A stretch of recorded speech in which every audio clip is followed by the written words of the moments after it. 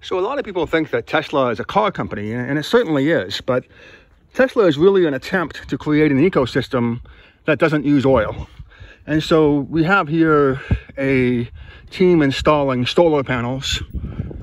And so that's one of the interesting things about Tesla is that ultimately the car itself is really trying to kind of a sideshow. Um, what, what's really happening here is that if you were trying to create a battery that doesn't use oil. And so really Tesla should, should call itself a battery company or a technology company that's attempting to wean itself from oil. Hey, and you know that because... What, what's that? We price match any other solar company. So if you want to get solar panels or a solar roof, Tesla price matches them. There you go. So you just said that the Tesla Energy will price match any other solar company. And one of the reasons is, one of the reasons it's able to do that is because it gets tax credits from the state of California. and we don't advertise for this service. What's that? We, we save a lot of money because we don't advertise that we do this. Everybody thinks about cars, but we have a whole bunch of different uh, departments. But with the energy department, we don't uh, we don't advertise, so we're able to. So everything's everything's word of mouth. The panel's cheaper pretty much it. Like all our advertising, friends, family. The uh, Elon does not want to advertise. Uh, wants to save money. Well, I, I, find, you know, I'm sure somebody is advertising for him, right? That's why you go on social media and there's always something about Elon. So somebody is doing the advertising, right? It may not be directly from him, yeah. uh, but it may be somebody who's bought the stock and maybe a hedge fund or a bank. So there's certainly advertising. Oh, yeah, for, for sure. And then everybody will just walk around like, oh, I didn't know Tesla did solar. I thought they only did cars. like, yeah, we do batteries and solar now. So, and we're having new brand new, we're having brand new, probably, uh, some new technology coming in too. So trying to make installs and backup batteries a lot easier. Yeah. Cool. Well, well, one of your competitors would be First Solar. That's the big one. Yeah.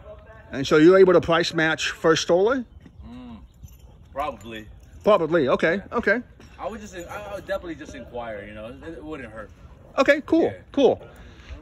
Thank you so much. Uh, you're welcome, sir. So you've really you've got a battery company. We know that because the car itself doesn't really have any moving parts. Um, at least not, at least it's trying to minimize it as much as possible.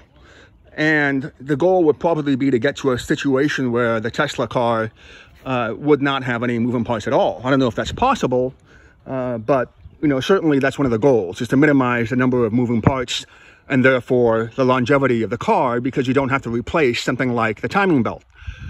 And you can see how if you also have a space program, you can see how the software on that car would also be, you know, helpful in terms of trying to move into self-driving cars, which would be the next generation after electric. So you can see how the ecosystem anticipates, you know, a situation where you've got self-driving cars that don't use oil, and essentially from that point, from that point, once the roads have been conquered, the next step would be to create a situation where the homes are also essentially as energy clean as possible. And so that's where the solar panels come in. And then, you know, it's possible you might have a Google or Amazon device inside the home that would make it a smart home. And, you know, ultimately, you can see that the future probably is going to be interesting, but of course that's going to need a lot more chips, a lot more semiconductor chips, a lot more powerful chips. And that's precisely the crunch that we're having right now. You can also see that almost all of this would be potentially hackable. And that may explain the rise of Bitcoin, which is really sort of a, um, a signifier for the underlying technology, which is the blockchain, which would be more difficult to hack than more centralized systems. So when you put all these things together, what you have is certainly a model, but the question is whether or not this model is viable. Because Tesla, of course, uh, almost went bankrupt in California. They had a uh, they had to have a sort of bailout, a kind of a bailout, and then from that point in time, they also had tax credits. And these aren't just one-year tax credits. These tax credits, from, from what I understand, continue today, even though Tesla is still a, you know, a, a, large company is actually now competing with smaller companies in, in many cases, especially with respect to the car. So you can sort of envision the future And in many cases, we're just trying to catch up to China. We're trying to catch up to the EU. And that's one of the reasons why a lot of this technology, whether it's solar panels or you know chips, a lot of that comes from South Korea. In some cases, the battery for might come from China. They are probably the leading battery makers right now uh, in terms of you know just something that's viable and cost effective. And that's really the, the the issue here is how do you create a system that's both environmentally conscious and cost effective without having tax credits. And so far, Tesla has been unable to be profitable without tax credits. It may not have even survived without California tax credits. So what, one, one thing that the federal government is trying to do right now is trying to take that template from California that made Tesla and apply it nationwide.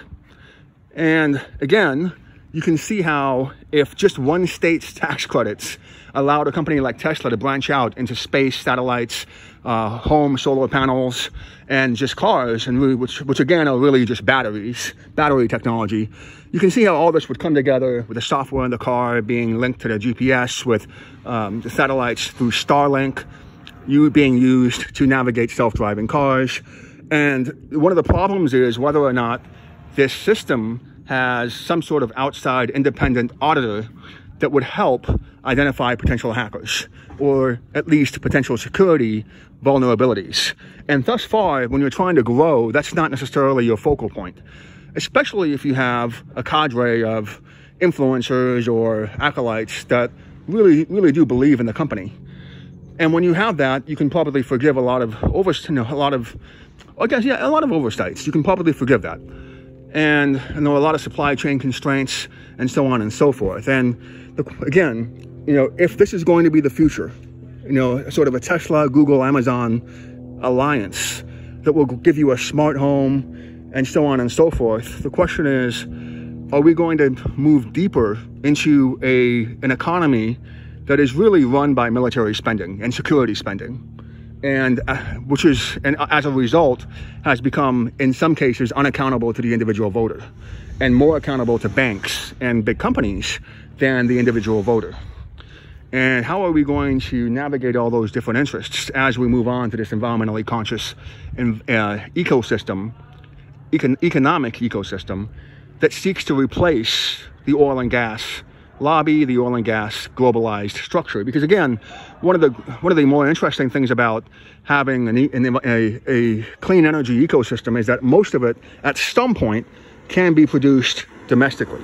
Once you have the technology, you can probably produce it domestically, and at that point, it might be a race for satellites, for accurate satellites and, and secure satellite transmissions that would be, but beyond the satellite issue, you can easily see how the technology would result in a, an opportunity to be more independent from the Navy and sea-based economic structure that we have now that dictates trade. How is that going to happen without substantial tax credits? How is that going to happen when we have still so much money involved in the oil and gas sector? Those are really the multi-trillion dollar questions that we're dealing with right now.